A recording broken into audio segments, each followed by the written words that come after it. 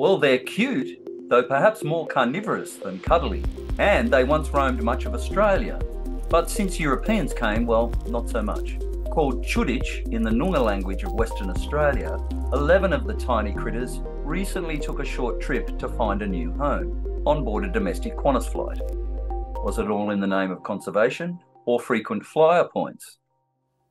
Over the last eight years or so, the Australian Wildlife Conservancy has been undertaking a major species reintroduction program here. And earlier this year, we reintroduced and released on the sanctuary the 10th native mammal species, the Chuditch or Western quoll.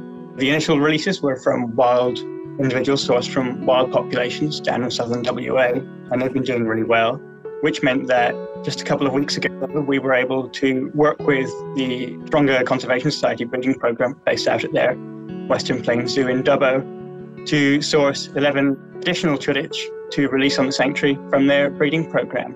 So we flew them over from New South Wales to their new home.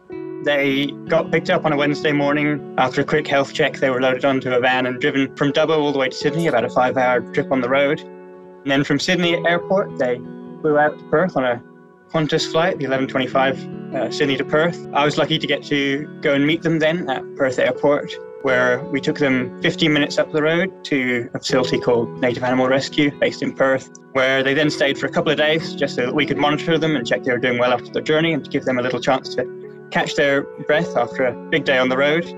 On that Friday morning, I went and met them at the facility, collected them up, and drove them out to Sanctuary, where that evening, once it was dark and they'd had another little health check, we let them out into the wild. So we've got a nice large sanctuary here for them, 130,000 hectares. So there's certainly plenty of space for them to settle in and establish territories. We've kept the fox and feral cat population under control, so they've got a safe space to settle in and breed.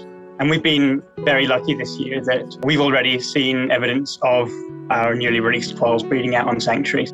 During our standard health checks, where we catch some of the quolls back out of the wild and give them a quick checkup, we found that at least two or three of the females have got pouch young in their pouch. And we'll be getting to the time of year now where we'd be expecting those young to be emerging into the world. So to get to this stage is exciting. And the quolls, particularly being the first predator we've released, being able to release them beyond our feral predator proof fence, seeing them roam in that broader landscape, it's just incredibly special. You know, they're Western Australia's top marsupial predator, and to see them back on this country after probably decades, you know, if not close to 100 years, it's just so exciting.